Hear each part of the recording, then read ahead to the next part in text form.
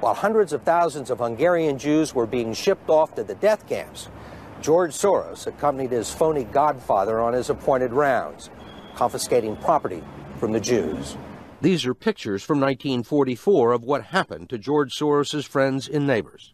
You're a Hungarian Jew mm-hmm. who escaped the Holocaust mm-hmm. by posing as a, a Christian. Right.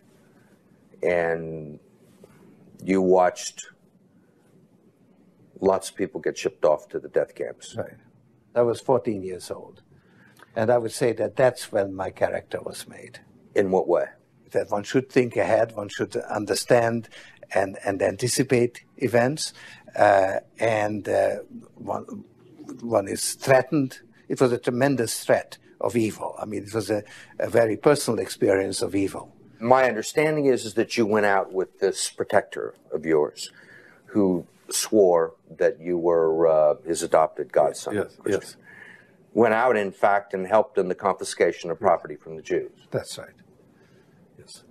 I mean, that's that sounds uh, like an experience that would send lots of people to the psychiatric couch for many, many years. Was it difficult? Uh, not, not, not at all. Not at all. It, uh, maybe as a child you don't you don't see the connection, uh, but it was it created no no problem at all. No feeling of guilt. No. For example, that uh, I'm Jewish. Uh, and here I am watching these people go. I could just as easily be there. I should be there. None of that.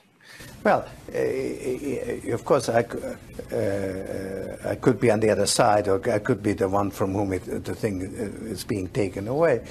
Uh, um, but there was no sense that I shouldn't be there because uh, that was.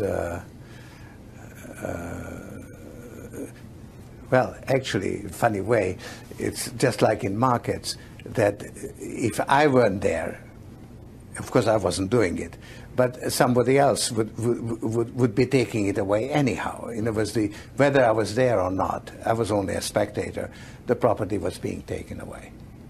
So I had no role in taking away that property.